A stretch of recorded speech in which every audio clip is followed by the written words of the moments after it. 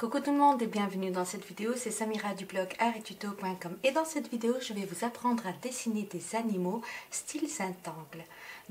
Pour commencer, je vais vous apprendre déjà comment dessiner les animaux et ensuite on va ancrer euh, ces animaux. Mais vous allez voir que l'étape par laquelle je vais passer est très très facile donc ne vous laissez pas impressionner par les détails. Ce qui compte c'est de savoir d'abord structurer votre euh, sujet et ensuite le développer avec les différents éléments que vous allez euh, ajouter pour charger un petit peu le contenu de votre euh, sujet, de votre dessin. Alors, je vais commencer par dessiner le tigre et euh, la méthode que je vais utiliser pour le tigre est pareil pour dessiner la girafe. Je vais vous dire de quoi il s'agit.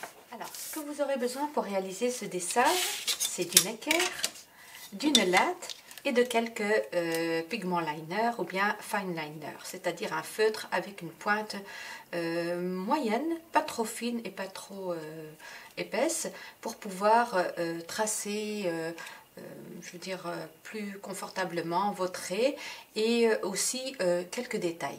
Donc, alors, que ce soit de chez Action ou alors de chez Stadler, vous avez le choix. Moi, j'ai opté pour celui du 05 et bon, celui d'Action, je ne pense pas que je vais l'utiliser, je préfère les Stadler.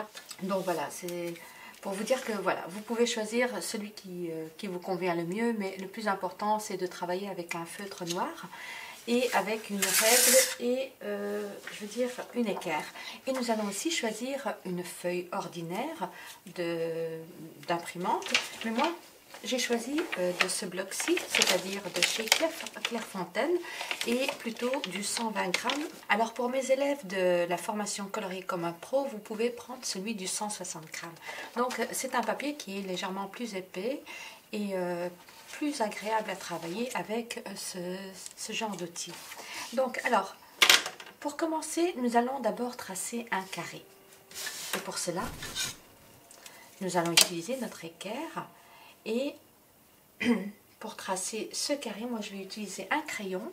Alors, moi, je vais choisir le Royal Graphite Pencil, le 2H. Mais vous pouvez prendre un B ou alors un HB. Alors, nous allons tracer un carré D'abord, on va tracer une ligne pour situer plus ou moins notre carré dans la feuille.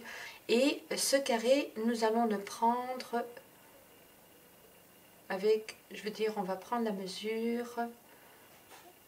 Alors, de chaque côté, ce sera du 14 sur 14. Donc, j'ai mesuré 14.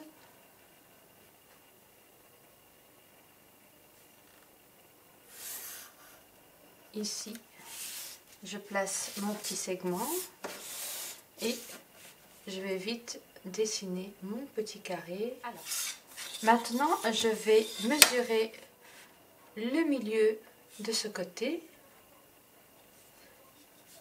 Vous allez comprendre pourquoi.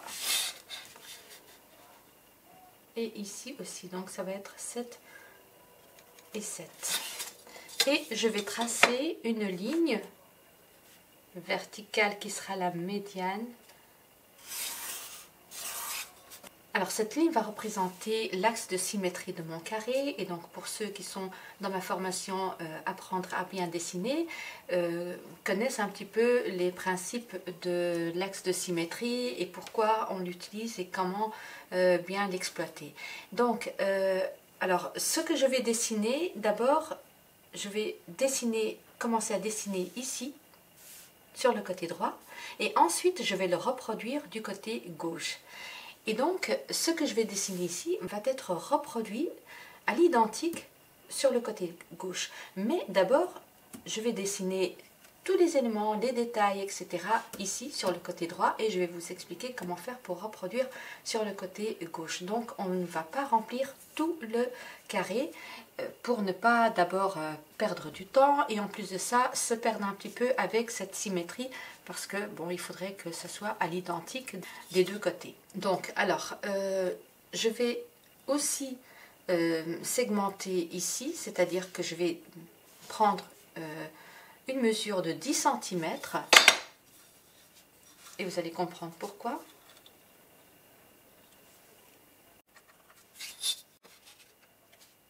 Alors je vais tracer, je vais relier les deux petits segments. Et là j'ai situé plus ou moins le bas du museau de mon euh, tigre. Donc je vais commencer à dessiner une petite courbe. Ah oui, je vais utiliser le crayon de couleur pour que vous voyez mieux parce qu'avec le, le, crayon graphite, avec la caméra, peut-être que vous allez voir... Euh, très très difficilement traits. Donc je préfère utiliser de la couleur et j'ai préféré prendre cette couleur-ci. Voilà, pour une question de, choix, mais vous pouvez prendre une autre couleur si vous voulez. Ou alors vous pouvez utiliser votre crayon, mais moi c'est surtout pour que vous voyez mieux mon dessin. Donc alors, je disais, on va tracer une petite courbe ici et on va remonter cette courbe et on va dessiner euh, une autre petite courbe ici et donc on a dit qu'on ne s'occupe pas de la partie euh, de gauche donc on va dessiner comme une sorte de triangle mais avec des coins arrondis et donc voilà on a situé plus ou moins le museau Ensuite, on peut corriger. Donc, si on rate, c'est pas grave. De toute façon, euh, ce crayon de couleur, moi j'ai choisi le polychromos car il est tout simplement facile à effacer. Donc, alors, de là, de ce côté, de ce coin, je vais faire remonter une courbe. Et alors, qui est un petit peu euh, ondulé vers l'extérieur et puis vers l'intérieur. Et ensuite, je vais venir ici, je vais laisser une petite, euh, un petit espace, on va dire un petit centimètre, et je vais dessiner une autre courbe et je vais essayer de, de, joindre cette ligne jusqu'au coin de mon euh, carré. Mais avant cela, je vais d'abord, pour ne pas euh, fauter, on va dire pour ne pas commettre d'erreur, je ne veux pas que l'oreille de mon tigre soit pointue. Je vais l'arrondir, arrondir, je veux dire l'extrémité de mon oreille, le sommet de mon oreille, enfin je sais pas. Et voilà, je trace juste une petite courbe et ensuite je vais essayer de relier cette ligne à celle-ci. Donc donc vous allez doucement, hein. vous voyez comment est-ce que je fais? Moi je ne vais pas d'un trait. Voilà. Alors de là, j'arrondis légèrement et j'essaye un petit peu de faire descendre cette ligne. Donc c'est comme un U, mais bon voilà, un petit peu allongé de ce côté-ci. Ensuite, je je trace, je continue ma ligne et quand j'arrive à ici, je commence à arrondir. J'espère que vous voyez bien. Donc, et je descends légèrement comme ça. C'est comme un point d'interrogation, mais à l'envers, un point d'interrogation un petit peu déformé. Et je vais venir ici, on va dire que je vais laisser un petit centimètre ou un centimètre virgule 3 et je vais tracer une courbe. Voilà. Et je relie toute la forme. Alors pour l'instant, c'est un dessin préparatoire. Ensuite, je vais repasser sur certaines lignes, je vais peut-être les écarter ou alors, euh, je veux dire, les formes, euh, je vais euh, peut-être effacer quelques lignes. Donc, je vais rectifier au fur et à mesure, mais pour l'instant, je place mes éléments et ensuite, je fignole petit à petit mon dessin. Alors, ici, je vais laisser un petit espace comme ça et je vais dessiner une courbe et elle va descendre plus ou moins ici.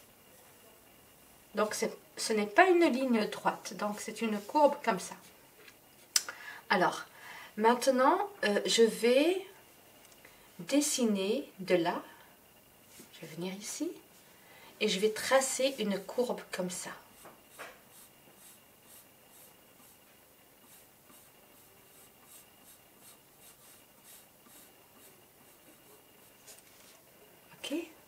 De là, je vais dessiner un demi-cercle.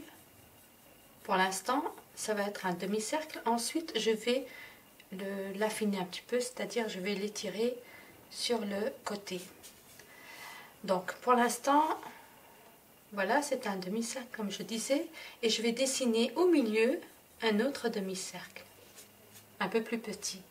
Je vais dessiner carrément un cercle ici, et vous avez compris, c'est l'œil de notre tigre. Alors je vais venir maintenant ici et je vais dessiner une courbe qui rentre dans ce demi-cercle. Voilà, donc vous voyez, là j'ai un petit peu modelé l'œil de mon tigre. Alors ici, je peux tracer un demi-cercle comme ça, comme je peux dessiner une forme, on va dire comme des petites pétales comme ça.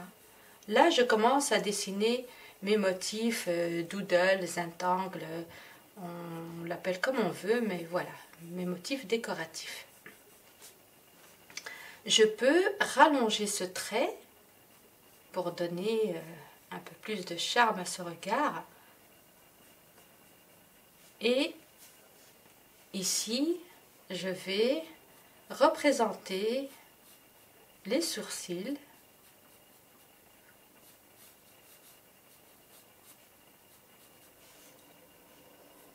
C'est comme des vagues, comme ça.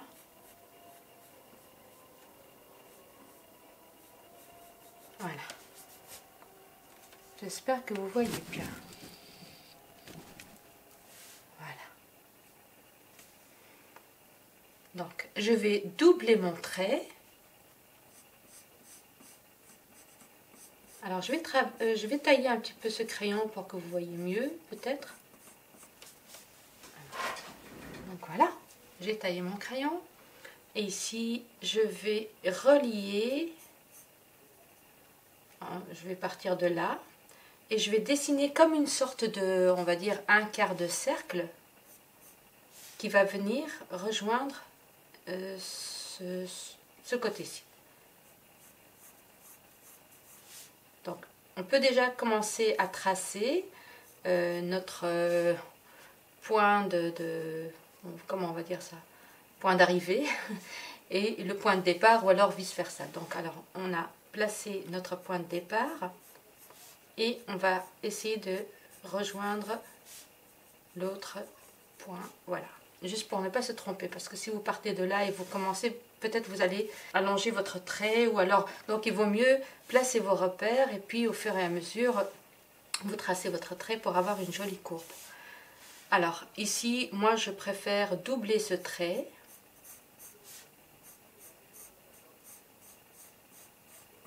Voilà.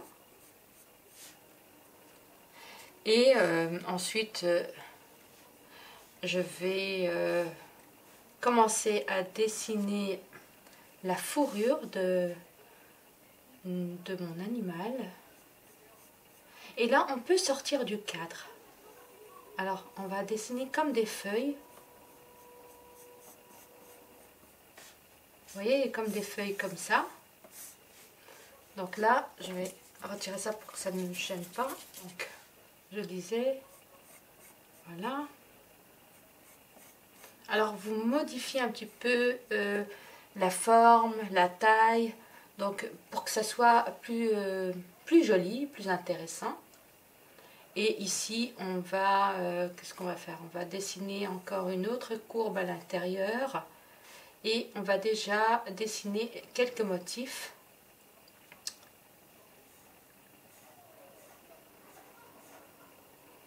Voilà, ce sont des courbes. Je dessine quelques courbes. Alors, une fois je remplis le, milieu, une fois je le laisse vide. Et je continue.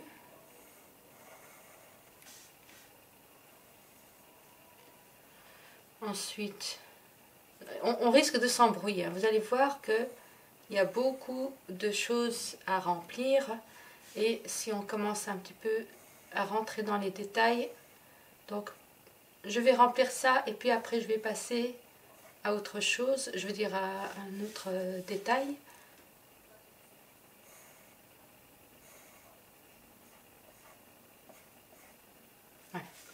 Donc ici je vais dessiner une forme comme une sorte de coupole comme ça, arrondie, et je vais reprendre mes, petits, mes petites courbes.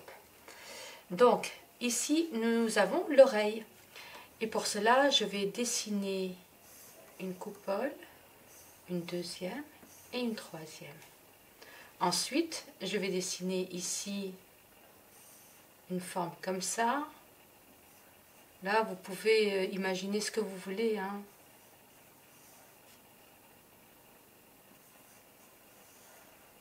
Voilà. Et ici, on va doubler ce trait et on va dessiner des cercles. Et ici, on va, dessiner, on va reprendre nos, nos petites euh, courbes. Voilà. Et on va dessiner comme des plombs, comme ça, des petites coupoles. Et puis, on va tracer quelques courbes. On peut très bien ensuite ramener euh, quelques cercles, des fleurs, ce que vous voulez. Et ici, par contre, je vais dessiner, juste pour casser un petit peu cette monotonie de forme. Et pour l'instant, euh, on situe un petit peu les éléments, mais ensuite, on, les remplira avec le feutre, etc. Donc, j'ai déjà euh, entamé plus ou moins le quart de, mon dessin. Donc, ce qui me, ce qui me, ce qui me manque encore, c'est ici, la petite euh, barbichette. Donc, alors il faut que je termine ici. Donc, je vais placer plus ou moins un segment ici et je dois relier euh, ma forme, je dois la remonter jusque là. Donc, je vais dessiner, pas une droite, mais une courbe. Voilà. Ensuite, ici, comme mon tigre a des moustaches, bien entendu, je vais essayer de, euh, de dessiner une grosse moustache comme ça. Et ensuite, euh, je vais relier. Vous voyez, j'ai dessiné une forme comme ça, mais je ne vais pas exagérer, car je vais essayer de relier cette forme à ici. Donc, je vais dessiner une, une courbe et je vais reprendre ce motif-là. Et comme ça, je vais avoir quelque chose d'arrondi. Donc ici, je vais dessiner par contre encore euh, une mèche et je vais continuer avec ces formes euh, ces formes là donc ça va être un peu plus large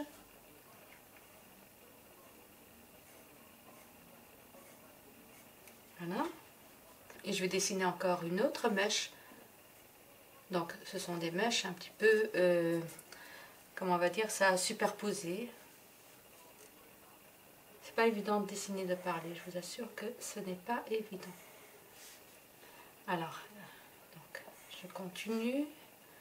Les mèches euh, inférieures, je les laisse simples, donc je ne mets pas de motif ni rien du tout.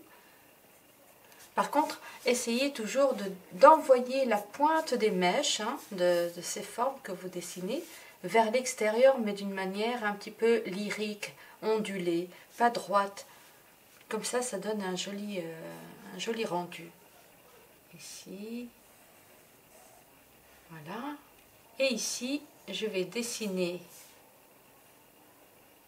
la petite barbichette. Donc, on peut sortir du cadre sans aucun problème. Donc ici, par contre, je vais dessiner la barbichette, elle est comme ça. Voilà. On va la conclure avec une petite, une petite pointe comme ça. Donc, on va laisser ça comme ça, onduler comme ça. Donc, alors, ici, on va euh, dessiner un motif. Donc, je trace déjà un petit segment. Et je vais dessiner quelques, quelques courbes comme ça, comme des pétales. Voilà. Et ici, je vais... Euh, je commence maintenant à remplir mes formes. Donc, euh, vous ajoutez des petits points, ce que vous voulez, des cercles, etc. Donc ici maintenant, ce que je vais faire, je vais dessiner les moustaches. Et je vais un petit peu exagérer. Donc, je vais un petit peu euh, épaissir la moustache. Ça, c'est la première. Ça, c'est la deuxième. Et euh, la troisième, euh, on, peut, on peut dessiner une troisième, ok Une troisième qui tombe. Voilà. Et là, je vais dessiner un trait, un deuxième trait. Je vais laisser un petit espace ici. Et ici, euh, là, on va commencer dans les motifs.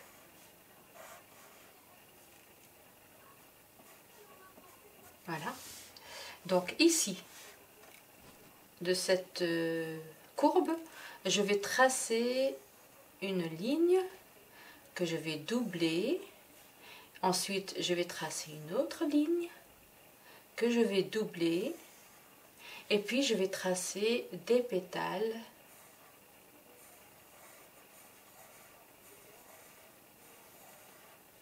Voilà.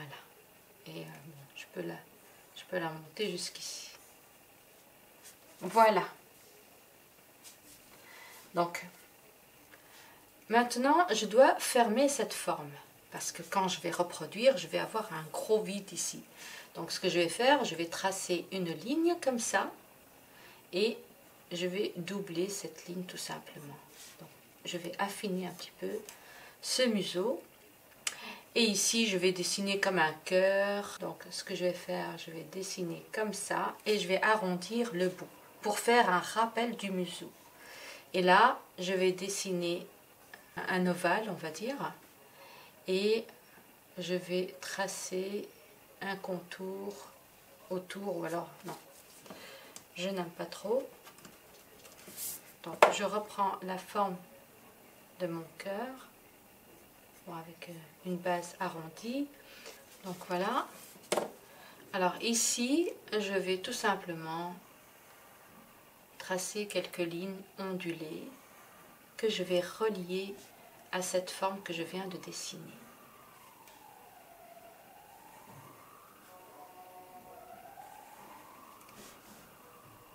Voilà. Alors ici, je peux dessiner une petite euh, un petit point noir. Et ici, je peux colorier à l'intérieur. Maintenant, ce qui nous manque, c'est voilà l'ancrage. Et pour cela, moi, je vais choisir le Stadler.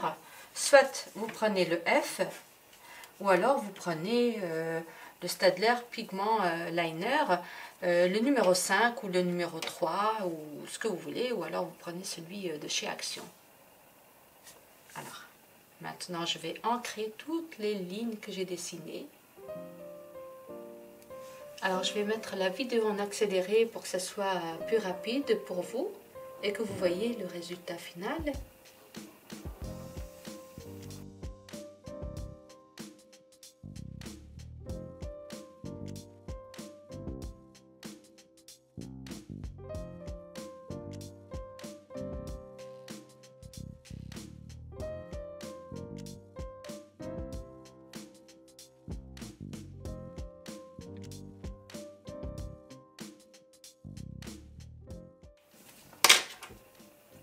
Le 1 et je vais tracer les, les petits euh, traits qui sont à l'intérieur. Je préfère qu'ils soient très très fins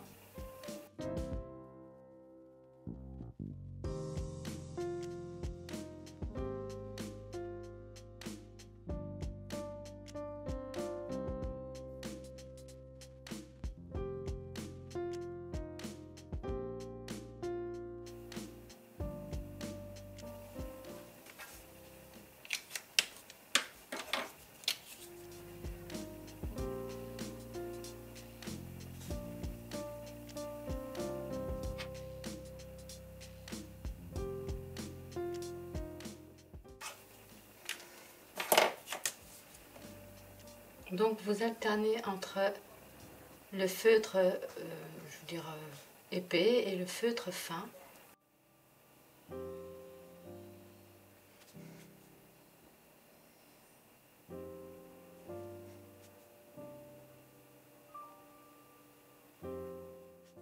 Donc voilà, une fois après avoir terminé votre dessin du côté droit, vous allez le reproduire sur le côté gauche pour cela, vous allez utiliser une feuille, euh, je veux dire un papier calque. Moi j'ai utilisé euh, ce bloc de chez Aurora, mais vous pouvez utiliser n'importe quel euh, bloc de, de papier calque. C'est du papier transparent qu'on va poser sur notre dessin et nous allons reproduire tous les détails de notre dessin avec un crayon gras cette fois-ci, un 2B. Si vous avez 3B, 4B, 5B, qu'importe, mais il faudrait qu'il soit gras. Mais c'est pas parce qu'il est gras que vous allez faire du n'importe quoi.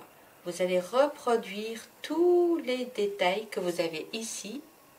Essayez de ne pas faire bouger votre papier calque, votre feuille on va dire.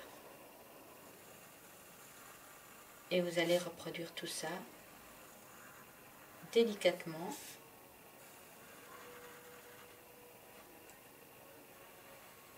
Alors, si vous avez un logiciel de, de retouche d'image euh, ou alors Photoshop, eh bien, vous euh, scannez votre dessin et vous allez juste euh, voilà, le, reproduire sur le côté droit avec l'outil sélection.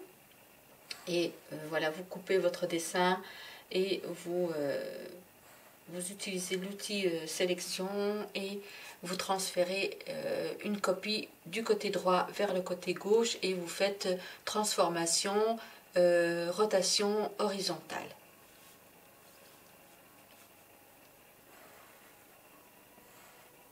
Mais si vous n'avez pas, ou si vous vous y connaissez pas en Photoshop, donc vous utilisez notre vieux papier calque et vous reproduisez tous euh, les détails de votre dessin. Comme je le fais pour vous là sous vos yeux.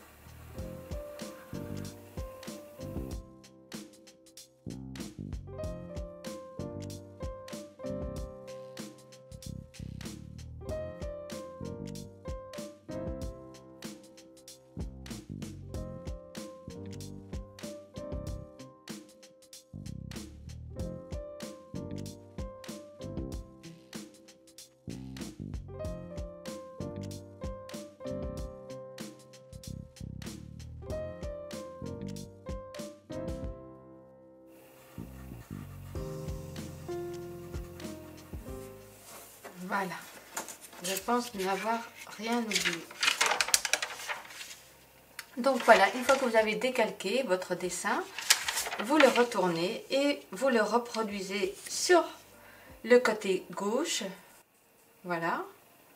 Et voilà, vous refaites la même opération. Donc voilà le résultat final. Vous pouvez utiliser cette technique avec n'importe quel autre animal, que ce soit un tigre, une girafe, euh, un aigle, ce que vous voulez. En tout cas, voilà, utilisez la symétrie, utilisez ensuite euh, les formes euh, simples, vous les remplissez avec des motifs, etc. Et c'est comme ça que vous allez représenter n'importe quel animal sous le style Zintangle. Voilà ce qu'il en est concernant ce cours de dessin euh, d'animaux, style Zintangle. J'espère que tout le déroulement de ce cours vous a plu et qu'il vous a surtout inspiré et vous a donné envie de réaliser vos propres dessins style Zintangle, même si ce n'est pas vraiment du Zintangle, euh, et surtout de réaliser vos dessins, les dessins de, des animaux qui vous plaisent. Euh, d'une manière très très simple, avec des motifs, etc. pour pouvoir soit les colorier en noir et blanc ou alors en couleur. Pour ceux euh, qui font partie de ma formation colorier comme un pro, vous pouvez exploiter cette technique pour créer vos propres dessins, vos propres coloriages et euh, voilà, avoir... Euh, une continuité de tout ce que vous avez appris dans le programme.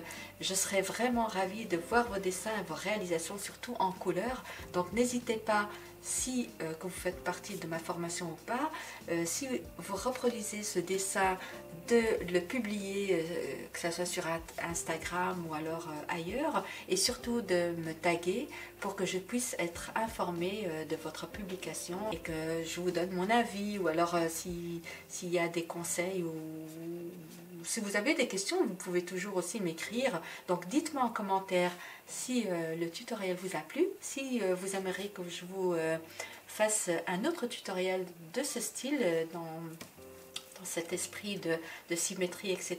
ou alors de style Saint-Angle. Euh, voilà, n'hésitez pas à me poser vos questions, n'hésitez pas à me donner euh, euh, votre avis concernant ce cours. je serai vraiment très heureuse de vous lire et surtout de vous répondre. Sur ce, je vous dis à très bientôt pour d'autres vidéos, pour d'autres réalisations, pour d'autres tutos. N'hésitez surtout pas, si vous êtes intéressé par le dessin ou par le coloriage, à télécharger vos kits de dessin ou de coloriage gratuits. Les liens se trouvent juste en dessous de cette vidéo. Quant à moi, je vous dis à très bientôt pour d'autres tutos. Merci, au revoir.